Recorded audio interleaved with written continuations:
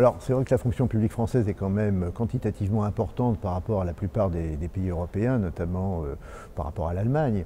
Euh, mais c'est vrai qu'elle joue aussi un rôle tout à fait essentiel dans, euh, je dirais, la, mise en œuvre, bien entendu, du service public, mais aussi dans la vie politique, dans la vie politique française et dans la vie sociale française. Donc, si vous voulez, sa place aujourd'hui est vivement contestée, comme elle a toujours été depuis la Troisième République.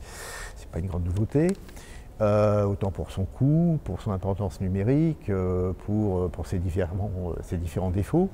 le problème, c'est que si vous voulez, globalement, d'une part, on s'aperçoit qu'une grande majorité de Français ne sont pas favorables à la réduction des effectifs et que les fonctionnaires ont plutôt une bonne image de leurs fonctionnaires. Ils les considèrent comme honnêtes, comme compétents, comme sérieux. ils se plaignent surtout plutôt des procédures administratives et de la bureaucratie. Et par rapport aux autres pays européens, euh, en termes de qualité, quand on mesure, quand on dispose euh, de, mesures internationales et d'enquêtes internationales, on voit que la France est dans le haut du panier en, termes de qualité de service public et de fonction publique.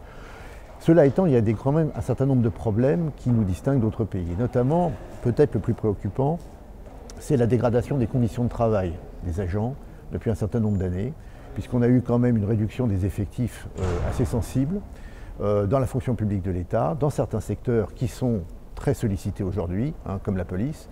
Et du coup, on a des tensions extrêmement fortes avec euh, des fonctionnaires qui se sentent un peu pris au piège entre une demande de service public très importante et des moyens en diminution.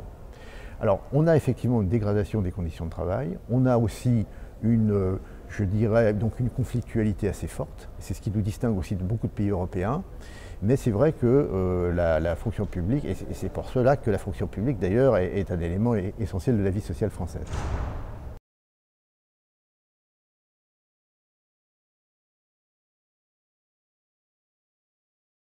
Bien, je pense qu'il euh, y a plusieurs pistes de réflexion pour réformer la fonction publique. D'une part, je pense qu'il faudrait sérieusement moderniser le système de recrutement, notamment des concours, en modifiant les épreuves de concours, en faisant qu'elles soient moins universitaires et beaucoup plus ouvertes à la formation professionnelle ou à l'acquis de l'expérience, et qu'elles soient donc par conséquent beaucoup plus diversifiées, qu'on puisse beaucoup plus diversifier les recrutements, notamment au niveau de la haute fonction publique, qui est excellente en qualité, mais qui est beaucoup trop fermée sur le plan social et qui est très très peu représentative de la vie, euh, de la vie sociale et de la société française aujourd'hui.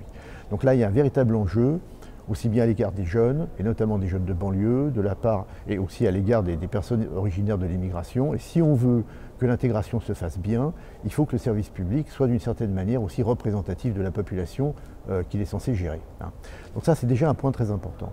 Un deuxième point important, je pense, c'est euh, toujours dans cette, dans, cette, logique de la méritocratie, euh, il faut limiter euh, tout ce qui touche plus ou moins à la politisation, c'est-à-dire à des recrutements, je dirais, à la tête du client, que ce soit les recrutements sans concours dans les collectivités territoriales, le tour extérieur autour du gouvernement, plus précisément pour la haute fonction publique, dans la fonction publique de l'État.